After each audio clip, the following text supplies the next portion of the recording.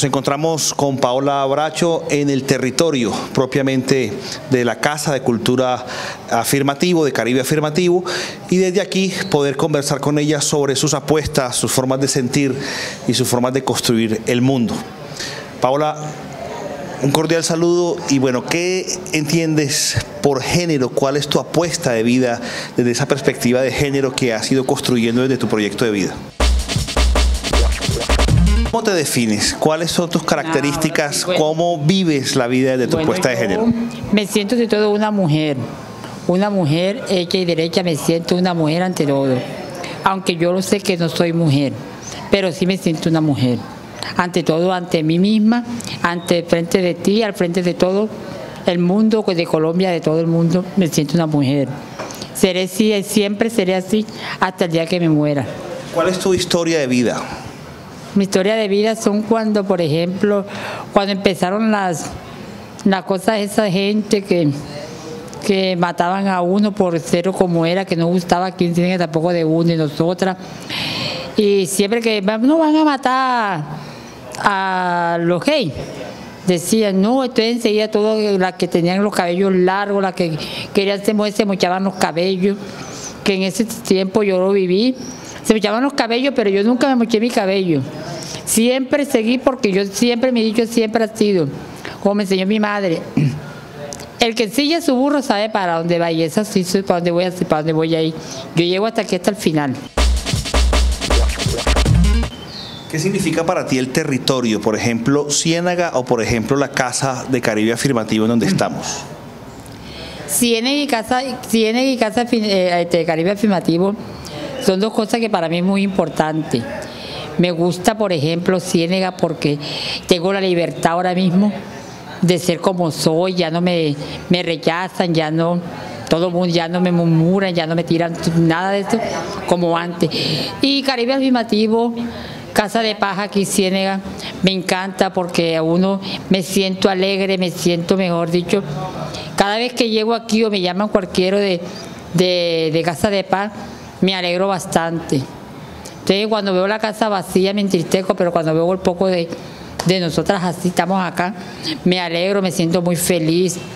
No quisiera que estos días se acabaran, pero toca porque ya toca que el día se acabe. ¿Cuáles son los procesos de resistencia que has tenido en tu vida? ¿Cómo has manejado esos procesos, eh, digamos, con el reconocimiento de la diversidad y con la posibilidad de que la gente pueda también coexistir en medio de posibilidades diversas como la tuya? Pues seguir luchar, luchar y luchar como siempre lo he hecho, luché, luché por llegar a este, a este, a esta, esta meta.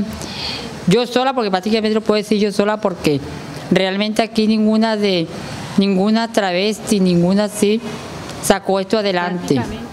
Yo siempre lo he sacado adelante y aquí detrás de, por eso digo que de, detrás de mí no veo a nadie. Siempre lo seguí adelante porque siempre que comencé fui haciendo lo que fui.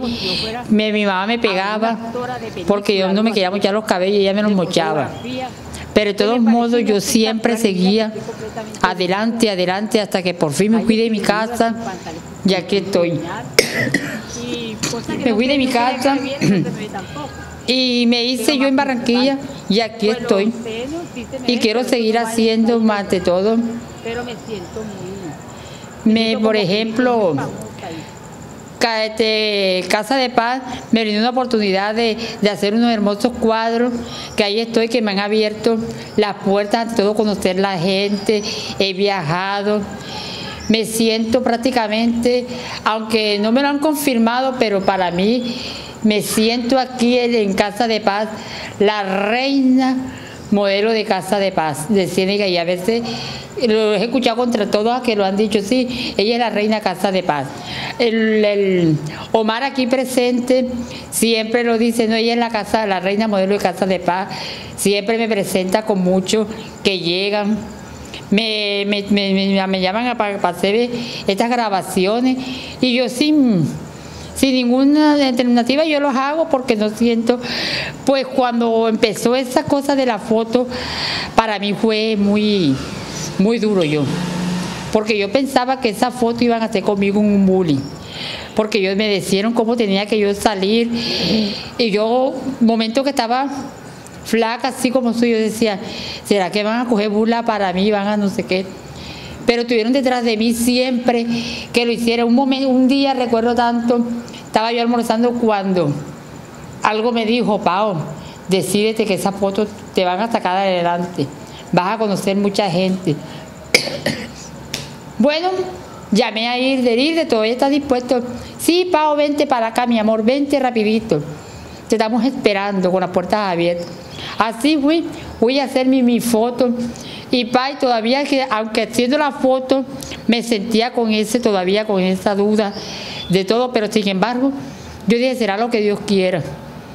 Pues me hicieron, me, hicieron, uno me dieron, no te preocupe que si hay un bullying contigo en esa foto que tú hiciste, eso tiene, tiene, te puedes demandar. Puedes meter porque te, eso es una falta de respeto que hacen contigo.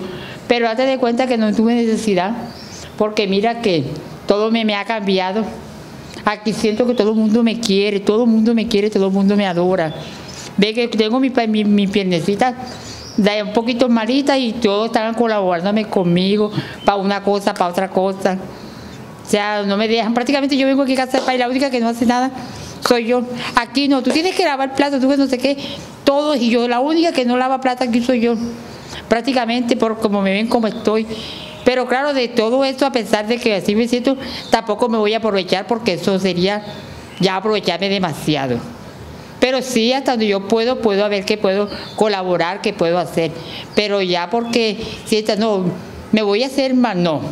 Eso no lo haría tampoco porque ya sería como que jugar con los sentimientos de todo lo que considero mis hijos prácticamente. Tengo 42 años y para mí todos aquí son mis hijos. Y mis hijas y todo, y los quiero y los adoro, los aprecio. Quisiera tener como antes para ayudar también ahora a esta nueva familia que yo tengo, porque tengo una familia para mí ahora mismo, una familia que yo tengo.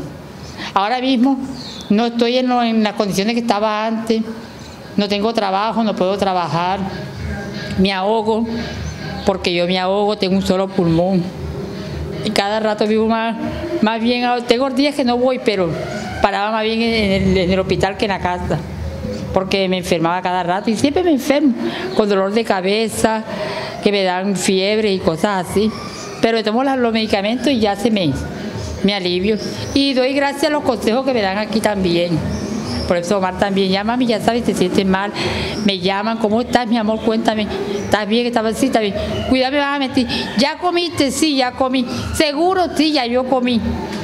Cuando digo que no comí, me llevan me lleva Omar, me lleva mi comida a la casa. Son las formas de hacer comunidad, de hacer tejido social de Paola dentro de su territorio, la Casa de Caribe Afirmativo, un contexto propuesto para la ciudadanía LGBTIQ, constructora de paz, constructora de sujetos políticos y de ciudadanas y ciudadanos como el caso de Paola. Agradecemos esta posibilidad para poder entender y asumir que se asume, que se interpreta por género, por cultura y por territorio desde aquí, desde Ciénaga Magdalena. Muchas gracias.